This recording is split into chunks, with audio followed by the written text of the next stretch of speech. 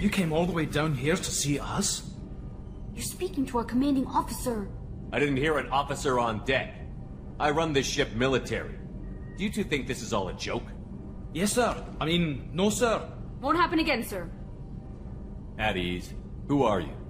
I'm Engineer Ken Donnelly, handling the power control systems. This is Gabby. That's Engineer Gabriella Daniels, actually. I'm responsible for the propulsion systems. What can we do for you, Commander? Are you set up okay down here? We can't complain. I just wish it didn't take so long to calibrate the FBA arrays. Kenneth, you're complaining. What kind of problems are you having? When they upgraded the Normandy design, they got a bit sloppy with the FBA couplings.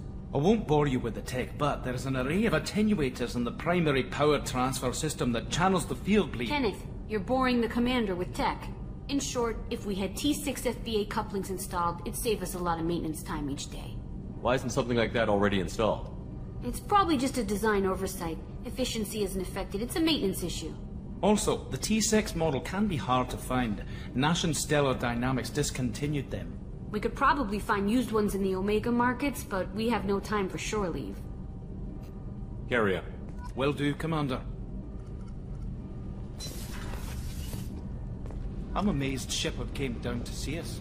I told you he would. Just heard. The collectors hit the Ferris Fields colony. Everyone's gone. Shit! We're going to make those dirty buggers pay. You're the best, Commander. We just got those FBA couplings installed. Now we only have to calibrate every week instead of every day. We're thinking about celebrating our newfound free time with some Skyllian 5 poker. Want to join us? Come on, Kenneth. The commander doesn't want to play cards with grease monkeys like us. You guys enjoy yourselves. We will. Thanks again, Commander.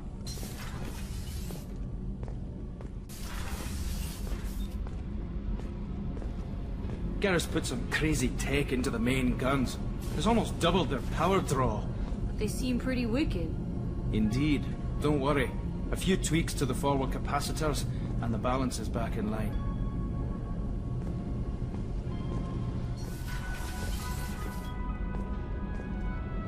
The new armor reinforcements really threw off the gravimetric profiles. But engines are good to go. I rebalanced the Gilborn coefficients and adjusted the anterior intakes on the second tier stabilizers. I love it when you talk dirty.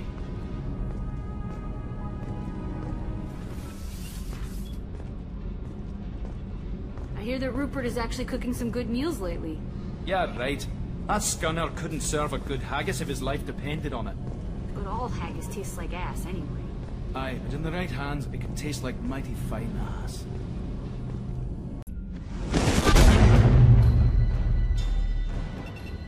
Oh, shit!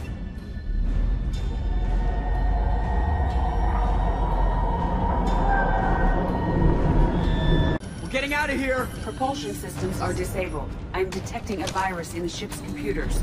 From the IFF? Damn it, why didn't you scrub it? Primary defense systems are offline. Can save the Normandy, Mr. Moreau, but you must help me.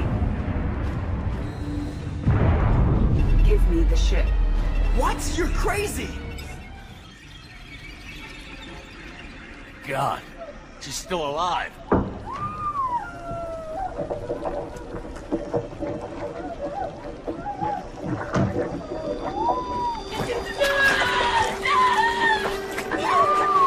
Get them out of there! Hurry!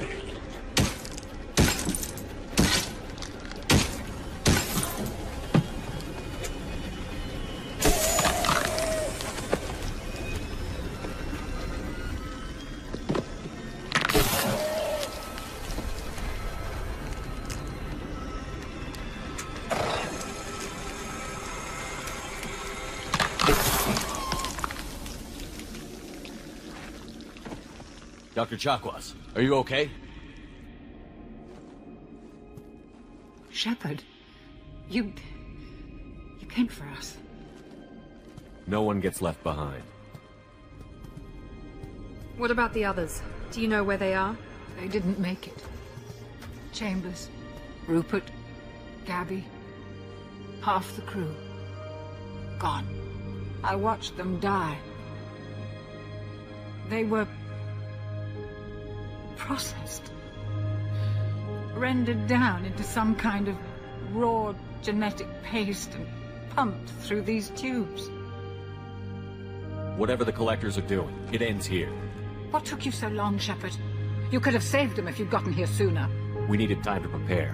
We had no other choice. I'm sorry. No. I didn't mean to blame you. I just had to watch them as they died. I know you did the best you could. You saved my life. Thank you. Gotta keep moving, Commander. What's the next move? I can't believe Gabby's gone. She didn't give up. She fought to the end.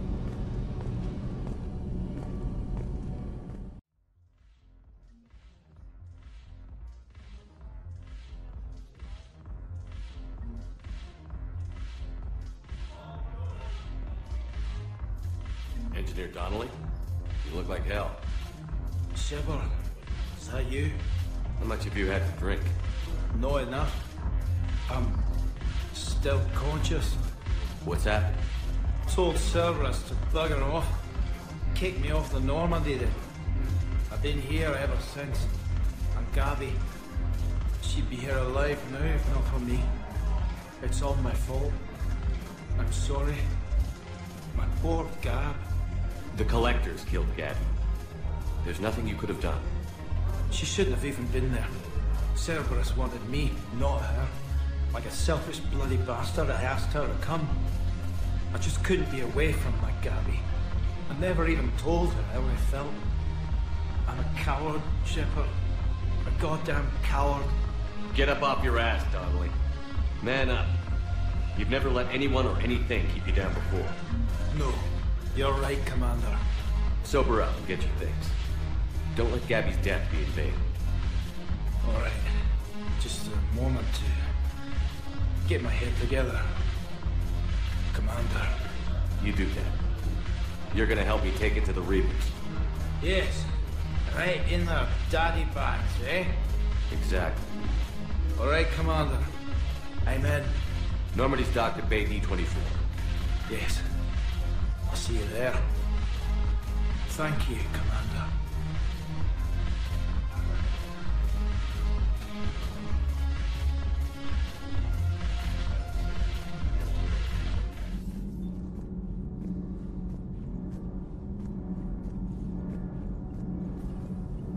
I'm good, Commander.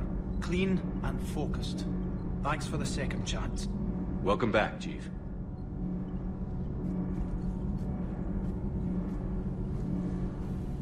Need anything, Commander?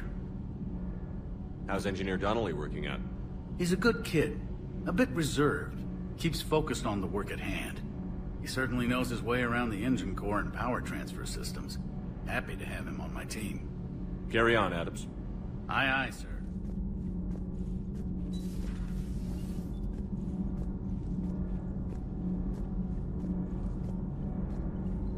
I wish Gabby could be here to see all this.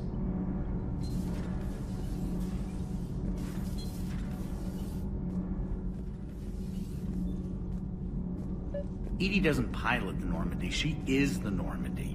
No, she's a passenger in the Normandy, just like us. The ship was a spacefaring vessel before EDI even existed. Engineer Donnelly is correct. The Normandy SR-2 was completely spaceworthy prior to my installation. See, EDI agrees with me.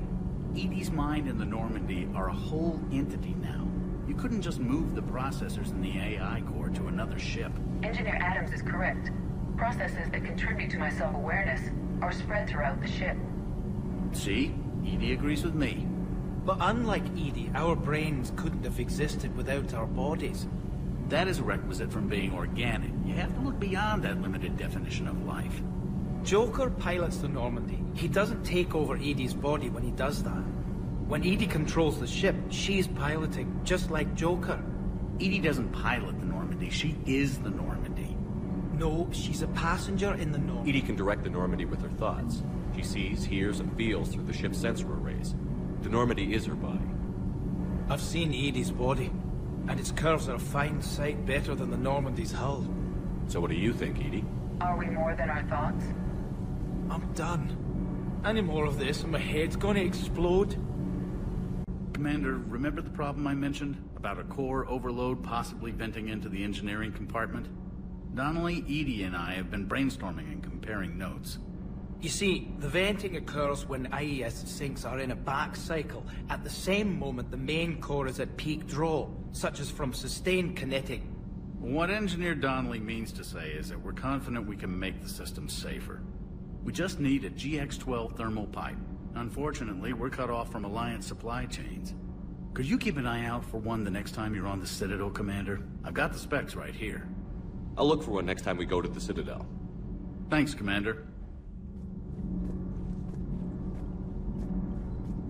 You should go see Adams, Commander. Commander, we've installed that thermal pipe you got us. It was quite successful. The Normandy will explode long before the core needs to vent into the engineering compartment. So that's good news? Commander.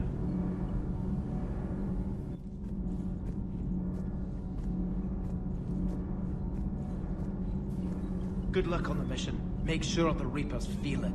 Will do. Take care, Shepard. You too, Donnelly. Commander, the Normandy is as ready as she'll ever be. That goes double for my team. We're prepared for whatever hits us. And Commander, whatever happens today, it has been an honor and privilege to serve with you. The honor's been mine, Adams. Give 'em hell, sir.